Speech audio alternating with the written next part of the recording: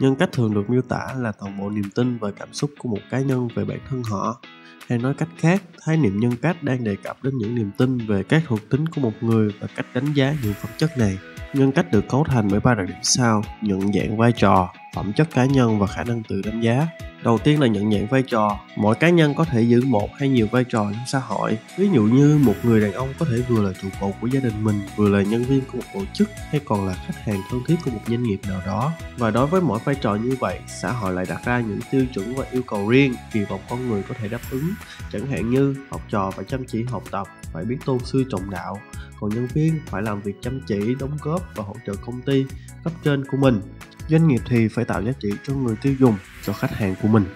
Nhận dạng vai trò còn được bộc lộ rõ qua cách mỗi người cư xử hay phản ứng với những hành động mà người khác tạo ra cho họ trong mỗi vai trò. Khi đi chợ, có một số người nhất định phải trả giá cho dù mặt hàng có mang giá trị thấp đi chăng nữa, như một bó rau, một con cá. Đối với học sinh thì sẽ tuân theo nội quy do nhà trường quy định, nhân viên thì sẽ nghe và làm việc theo quy định của công ty. Thứ hai, phẩm chất cá nhân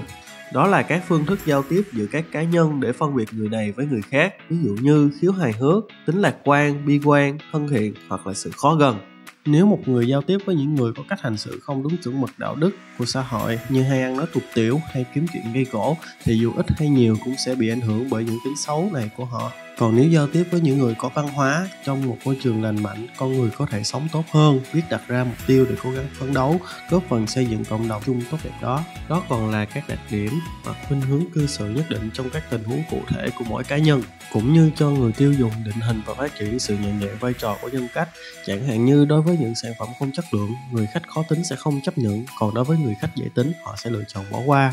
đặc biệt là ngữ cảnh khác nhau và dưới những yếu tố tác động khác nhau thì người tiêu dùng cũng có những cách phản ứng thể hiện khác nhau. Điều đó còn được thể hiện đặc biệt rõ trong thời đại hiện nay, khi dịch bệnh đã làm cho hành vi mua sắm của mọi người đều thay đổi. Cuối cùng là khả năng tự đánh giá, đó là sự xem xét thể hiện đầy đủ của họ trong các vai trò khác nhau. Chẳng hạn như nhân viên sẽ biết được giá trị đóng góp của mình cho công ty là bao nhiêu dựa trên năng lực cá nhân, còn con cái sẽ xem xét khả năng có thể đậu vào các trường đại học bố mẹ mình mong muốn hay không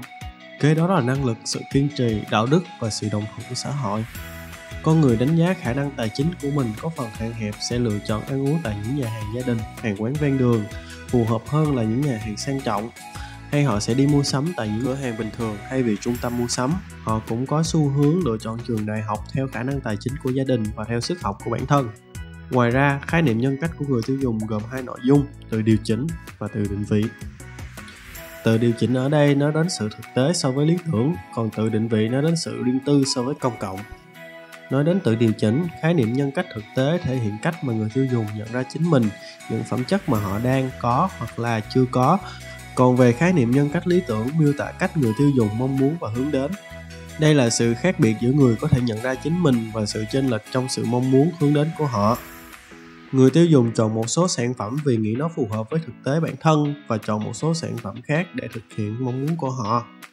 Chẳng hạn như người nội trợ thường sẽ chọn những sản phẩm quần áo phù hợp với công việc tại nhà của mình như rộng rãi, thoáng mát, dễ thấm hút mồ hôi. Trong khi đó, họ vẫn sẽ sắm sửa những bộ váy đầm sang trọng, thanh lịch để được diện cho một số sự kiện nào đấy với mục đích thể hiện mình tốt nhất trước người khác.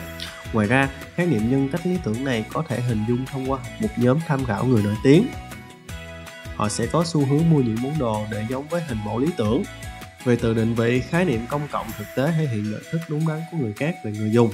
Còn khái niệm công cộng lý tưởng cho thấy người tiêu dùng muốn người khác nhìn nhận họ như thế nào, khoảng cách giữa hai khái niệm được gọi là sự khác biệt công cộng. Ví dụ như, có những người muốn khoác lên mình những bộ quần áo mới, cập nhật xu hướng nhanh nhất để thể hiện mình có gu thẩm mỹ. Đây có thể coi là một cách tự định vị bản thân trong xã hội luôn có sự thay đổi từng ngày như này ta có thể thấy thông qua một số fashionista hay người mẫu như Ngọc Trinh, Quỳnh Anh Xin